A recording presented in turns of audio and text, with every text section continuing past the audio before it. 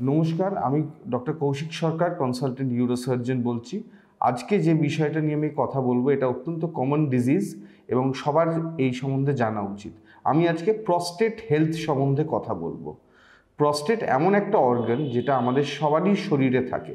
একজন নবজাতক শিশু থেকে একজন বৃদ্ধ মানুষ সবারই থাকে।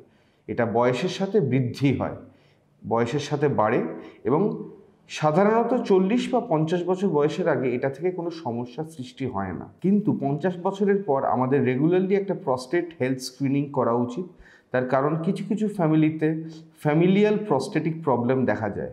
Familial prostate cancer familial benign prostatic disease এগুলো সব আজকালকার যুগে অত্যন্ত কমন ডিজিজ একটা বয়সের পর আমি সবাইকেই বলি যে একটা পিএসএ স্ক্রিনিং বা একটা পিএসএ টেস্টিং করা উচিত। কারণ এটা আমাদের প্রস্টেটের হেলথ ডিটেক্ট করতে সাহায্য করে।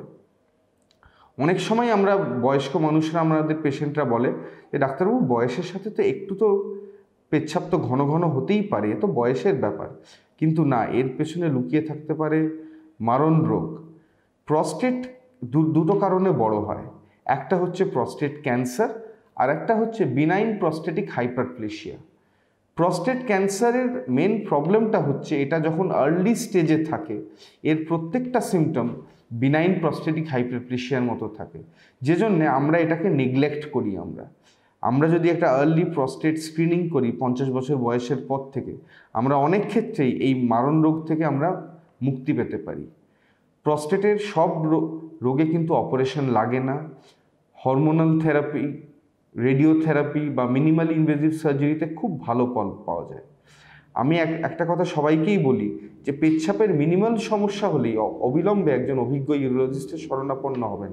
কারণ একটা বয়সের পর আমরা যদি ঠিক সময় এগুলোর চিকিৎসা না করি, এর চিকিৎসা ফল কিন্তু ভালো হয় না। ডিলেড ট্রিটমেন্ট মানে ব্যাড রেজাল্টস অফ ট্রিটমেন্ট অনেক সময় অনেক পেশেন্ট আমাদের কাছে আসে late stage of prostatic disease থেকে মানে যে প্রস্টেটিক ডিজিজ থেকে কিডনি খারাপ হয়ে গেছে, তাতে অনেক বেশি ক্ষতি হয়ে যায়। আমাদের সেই জন্যেই এমন একটা পন্থা অবলম্বন করতে হবে যাতে আমাদের early detection of prostate disease and quick treatment of the problems করতে পারি আমরা। সব বিনাইন প্রস্টেটিক ডিজিজের চিকিৎসা কিন্তু সার্জারি নয়। প্রস্টেট সার্জারির কিছু ডেফিনিট ইন্ডিকেশনস আছে। আমরা সার্জারির ইন্ডিকেশন তখনই করি যখন মেডিসিনে যখন কাজ হচ্ছে না, তখন আমরা দেখি। আজকালকার যুগে মিনিমালি ইনভেসিভ প্রস্টেটিক সার্জারি অত্যন্ত সেফ এবং effective surgery with good results যদি ঠিকমতো পেশেন্ট সিলেকশন করা হয়। এই পেশেন্ট সিলেকশন কথাটার উপর আমি খুব জোর দেবো আজকে। তার কারণটা হচ্ছে, আমি যেটা কিছুক্ষণ আগেই বললাম যে all patients do not require surgery they do very well with medical management মানে ওষুধের মাধ্যমেই তারা ভালো জীবন পেতে পারে। ইউরোসার্জনের কাছে আসা মানেই কিন্তু প্রস্টেটের সার্জারি নয়, এর পেছনে মেডিসিনের একটা বিশাল রোল আছে। আমাদের কাছে যে পেশেন্টরা আসে প্রস্টেট সমস্যার জন্যে, তারা কিন্তু, সবাই কিন্তু প্রস্টেটের অপারেশনের ক্যান্ডিডেটই নন তারা। আমার কাছে যদি আজকে সত্যি কথা বলতে একশো জন রুগী আসে একশো জন রুগীর মধ্যে কিন্তু সাতানব্বই থেকে আটানব্বই জন লোকই কিন্তু কন্টিনিউড মেডিসিন এবং রেগুলার চেক খুব ভালো ফল পেতে পারেন।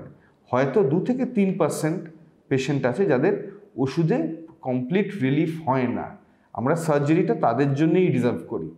এছাড়া একটা রেগুলার টেস্টিং যেটা পঞ্চাশ বছর বয়সের পর সবারই করা উচিত, সেটা হচ্ছে পিএসএস স্ক্রিনিং পঞ্চাশের পর স্পেশালি যদি আপনার ফ্যামিলিতে যদি কারোর যদি প্রস্টেট ক্যান্সার হয়ে থাকে, তাহলে এই পিএসএস স্ক্রিনিং একটা বয়সের পর রেগুলারলি করাটা উচিত। এই আমার এই আজকের টকটা মেনলি এল্ডারলি সিটিজেনদের জন্য। কিন্তু আমি আমার ইয়াং বন্ধুদেরও বলব যে এই মেন্স হেলথ ডেতে আপনি আপনার বাবাকে একটা পিএসএ স্ক্রিনিং একটা অতি অবশ্যই করান। এটাই হতে পারে আপনার বাবাকে আপনার আপনার দেওয়া বেস্ট গিফট